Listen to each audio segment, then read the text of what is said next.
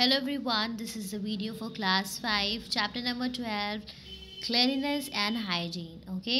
Students तो बड़ा interesting chapter है और आपके लिए काफ़ी यूज़फुल है इसमें आप क्लीननेस के बारे में जानेंगे और हाइजीन के बारे में जानेंगे चलिए स्टार्ट करते हैं इस चैप्टर को look at the given pictures यहाँ पे कुछ पिक्चर्स बनी हुई हैं इन पिक्चर्स को आपको देखना है put a tick mark on the habits you follow regularly और आपको उन पे टिक करना है जो हैबिट्स आप जो चीज़ें आप करते हो जो हैबिट आप रेगुलरली फॉलो करते हो। All right right? तो पिक्चर्स देखिए। एक बच्चा है जो अपने हैंड वॉश कर रहा है। एंड uh, दूसरा बच्चा क्या है? The boy he is spitting on the ground right? And the third one is having uh, is taking bath. And the fourth one is untidy one. तो आप इसमें से किस पे टिक करेंगे? जो अच्छी हैबिट्स आप फॉलो करते हैं that is that is washing your hands and taking bath right taking bath तो ये हैबिट्स क्या हैं? अच्छी हैबिट्स हैं। चलिए, अभी आगे इस चैप्टर को पढ़ते हैं तो आपको समझ में आ जाएगा कि ये पिक्चर्स यहाँ पे क्यों बनी हुई हैं।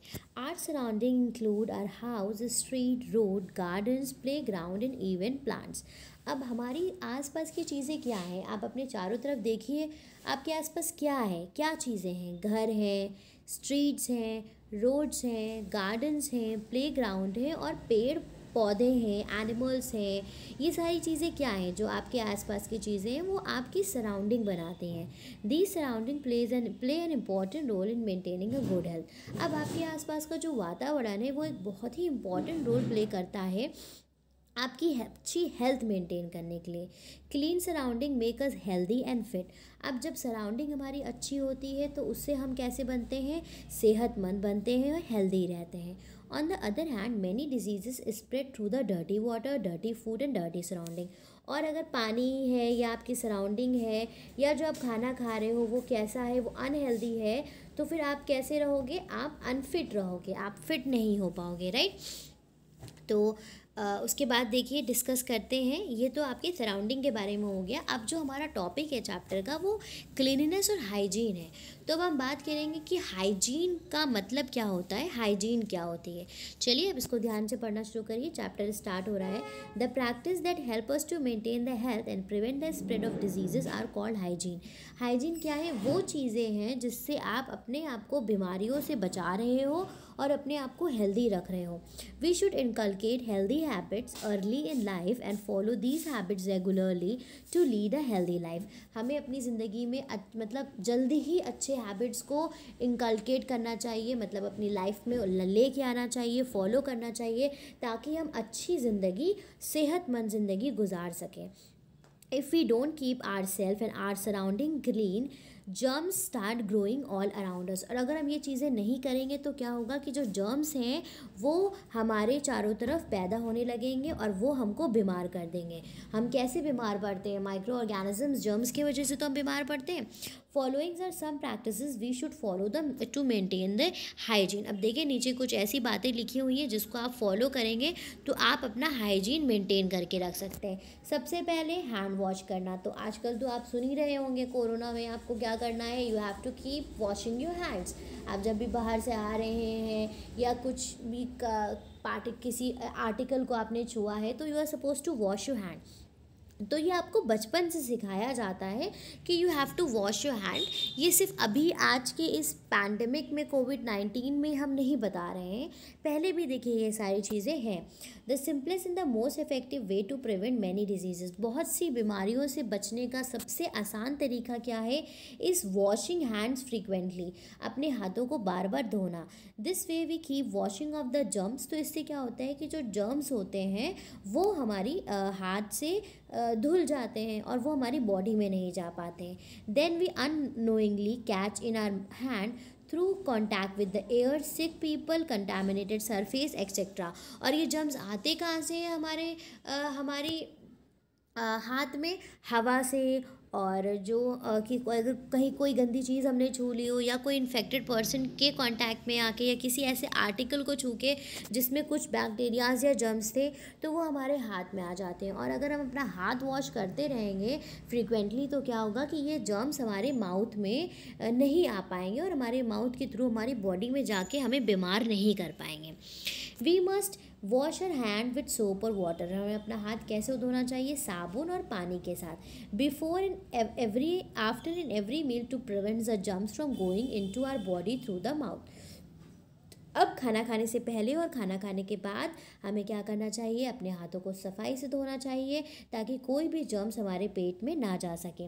आफ्टर यूजिंग टॉयलेट जब आप वॉशरूम से फ्रेश होके आते हैं आफ्टर यूरिनेशन और डिसीशन क्या करना चाहिए? आपको हैंड ज़रूर वॉश करने चाहिए आफ्टर प्लेइंग जब आप खेल करके आते हैं after returning home from outside और जब भी आप बाहर से घर आते हैं तो आपको अपने हाथ ज़रूर धोने चाहिए। Right it is important to wash our hand in the correct way और हाथ धोने का मतलब ये नहीं है कि बस आपने पानी बर्बाद कर लिया। आपको सही तरीके से हाथ धोना चाहिए। We must be careful to wash the palm मतलब जो आपके हाथ की कलाई है सॉरी uh, जो uh, आपके हाथ की uh, जो पाम है क्या कहते हैं इसको, हथेली। जो आपके हथेली है हाथ की, आपको उसको ज़रूर धोना चाहिए and the back of the hand हाथ के पीछे का हिस्सा, सोप से रगड़ते हुए उसको अच्छे से वॉश करना चाहिए। We must rub between the fingers and the edges of nails too और आपको अपनी उंगलियों के बीच में भी रब करना चाहिए और यहाँ तक कि जो आपके नेल्स की एजेस होती हैं, हाथ धोते वक्त उनको भी साफ़ करना चाहिए। Then we should wash away the soap with plenty of water and then dry our hands properly as wet hands invite germs और हमें क्या करना चाहिए कि जो भी साबुन है हमारे हाथ में या सोप जो भी है, या आपने हैंड वॉश यूज़ किया है, उसको पानी से अच्छे से साफ़ कर लेना चाहिए। उसके बाद अपने हाथों को किसी साफ़ कपड़े से कॉटन के टाल से अपने हाथ को ड्राई कर लेना चाहिए। क्योंकि अगर आपके हाथ गीले रहेंगे तो फिर वो एयर के कांटेक्ट में आएँगे और जर्म्स आपके हाथ में वापस आ जाएँगे। एक्टिविटी वन देखिए learn the correct way of washing hands from your teacher in your school assembly give a demonstration of the correct way of hand washing don't forget to provide the information on the need to wash hand frequently तो अभी जब आप लोग वापस से school आ जाएँगे तो ये ये डेमॉन्स्ट्रेशन आपको करके दिखाना होगा और इसके साथ आपको असेंबली में ये भी बोलना होगा कि हैंड वॉश करना फ्रिक्वेंटली क्यों ज़रूरी है? और अगर हम हैंड वॉश नहीं करते हैं तो उससे हमें क्या प्रॉब्लम्स हो सकती हैं? आगे बढ़िए नेक्स्ट टॉपिक देखते हैं। कटिंग और ट्रिमिंग नेल्स अब नाखूनों को काटना, उनको ट्रिम करना। If you don't cut or trims our nail regularly that starts collecting under our nails germs start building up on the dirt and get inside our body तो क्या होता है कि अगर हम अपने नेल्स नहीं साफ़ करते हैं उनको नहीं कट करते हैं तो डस्ट हमारे नेल्स में जमने लगती है और उनके अंदर जम्स पैदा होने लगते हैं। When we eat our food they enter our body और जब हम खाना खाते हैं तो वो हमारी बॉडी में जाके हमें क्या करते हैं? बीमार कर देते हैं। So it is very important to keep our nails clean and keep cutting them regularly तो ये बहुत ज़रूरी है कि आप अपने नेल्स को क्या करें? साफ़ रखें और उनको बड़ा ना होने दें, उनको उनको ट्रिम करते रहें राइट अगर आपके नेल्स गंदे होंगे तो आपके नाखूनों में जो डर्स बैठेगी, उसके वजह से जो वहाँ पे जर्म्स पैदा होंगे, वो जब आप खाना खाएँगे तो वो आपके पेट में जाकर आपको बीमार करेंगे। ठीक है? नेक्स्ट टॉपिक देखिए कि किस तरह से अपने आप को आप हेल्दी रख सकते हो। हेल्थ और अपनी हाइजीन ओरल हाइजीन को मेंटेन करना। ओरल हाइजीन मतलब होता है अपने मुँह की साफ़ सफ़ाई करना। After eating our food if there our food particles left between our teeth they attack the germs अगर देखिए क्या होता है कि खाना खाने के बाद हमारे दांतों में कुछ खाने के जो पार्टिकल्स होते हैं, वो बचे रह जाते हैं तो वो क्या करते हैं? जम्स को अट्रैक्ट करते हैं। We should keep our mouth tongue and teeth clean हमें अपनी ज़बान और जो दांत है, माउथ है, उसको साफ़ रखना चाहिए। We should brush our teeth twice a day हमें अपने दांतों को क्या करना चाहिए? दिन में दो बार ब्रश करने चाहिए। Once in the morning and then again at night before going to bed तो फिर से एक बार नाइट में सोने से पहले। We should use a soft toothbrush and good quality toothpaste toothpaste to brush our teeth और आपको जो ब्रश यूज़ करना चाहिए वो कैसा होना चाहिए? वो good quality soft tooth brush होना चाहिए। We should we should floss regularly to clean the space between our teeth और जो आपके uh, uh, आपको क्या करना चाहिए? अपने uh, जो ओरल हाइजीन है उसको प्रॉपरली मेंटेन करना चाहिए। अपने मुँह को जो भी आपके दांतों के बीच में जो ज़रिया है वहाँ पे जो खाना फंस जाता है उसको भी आपको साफ़ करना चाहिए। We should also remember to rinse our mouth with water after after every meal और खाना खाने के बाद हमें कुल्ला ज़रूर करना चाहिए ताकि जो भी जो पार्टिकल्स हैं वो हमारे माउथ से निकल सके।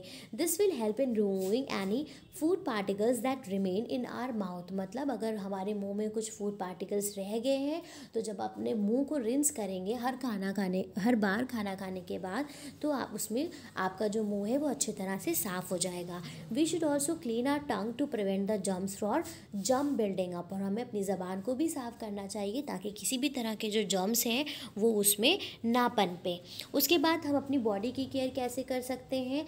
Throughout the day we collect a lot of dirt and sweat on on our body अब दिन भर हम लोग बाहर जाते हैं और बाहर नहीं भी जाते हैं तो भी क्या होता है कि हमारी बॉडी डस्ट हमारी बॉडी में जो डस्ट लगती है तो उससे और पसीना होता है तो उसकी वजह से हमारी बॉडी में जर्म्स आ जाते हैं। These are the most favourable condition for germs to grow on तो वही पसीने और डर्ट की वजह से क्या होता है कि जम्स पैदा होने लगते हैं। We should remove these germs from our body by taking a bath daily इसीलिए हमें रोज़ नहाना चाहिए ताकि ये जो जर्म्स हैं, ये हमारी बॉडी से रिमूव हो जाए। We must use soap to clean our self हमें साबुन से नहाना चाहिए, अपने आप को साफ़ करने के लिए साबुन का यूज़ करना चाहिए। In winters we can use warm water to take bath सर्दियों में हम क्या कर सकते हैं, हल्के गुनगुने पानी से नहा सकते हैं। After our bath we must dry our self thoroughly with a clean and dry towel और नहाने के बाद ये बहुत इंपॉर्टेंट है कि आप अपनी बॉडी को पूरी तरह से एक अच्छे साफ़ टाल से क्लीन करें। This simple action will keep you away from many diseases और अगर आप अपनी बॉडी का इस तरह से ख्याल रखते हैं uh, साफ़ सफ़ाई का ख्याल रखते हैं तो आप बहुत सी बीमारियों से बच सकते हैं। फिर देखिए हेयर केयर में क्या आता है? हेयर केयर अपने बालों की साफ़ सफ़ाई रखना। तो जो पसीना है और डर्ट है, ये हमारे बालों को गंदा करती है। We should take care to clean our hair while taking a bath जब हम नहाते हैं तो हम अपने सर को भी धोना चाहिए। We should use a good shampoo to clean to keep our hair clean हमें क्या करना चाहिए? अच्छी क्वालिटी का शैम्पू यूज़ करना चाहिए अपने बालों को साफ़ करने के लिए। We should also comb our hair regularly हमें अपने बालों को रोज़ कंघी भी करना चाहिए। We should use a good quality hair oil to keep our healthy and strong और अपने बालों को अच्छा और मज़बूत बनाने के लिए हमें उनको, उनकी ऑयलिंग और मसाजिंग ज़रूर करना चाहिए ताकि हमारी जो हेयर की क्वालिटी है वो बनी रहे।